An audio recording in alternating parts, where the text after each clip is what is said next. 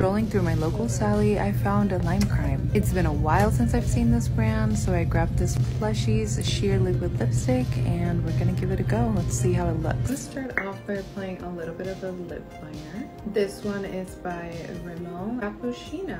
Actually very long wearing and I absolutely approve. I used to see a lot of Lime Crime back in the day. It's supposed to be like a more sheer liquid lipstick. Oh, yeah, okay, I see it. Oh, it smells like medicine. I have this shade here, Cola, and I actually really love the shade. It's very sticky and dry like a liquid lipstick, and I already know that I'm gonna start peeling in the middle like liquid lipsticks. I was expecting it to not dry down so much, but it's, yeah, it's basically a liquid lipstick with a sheer formula.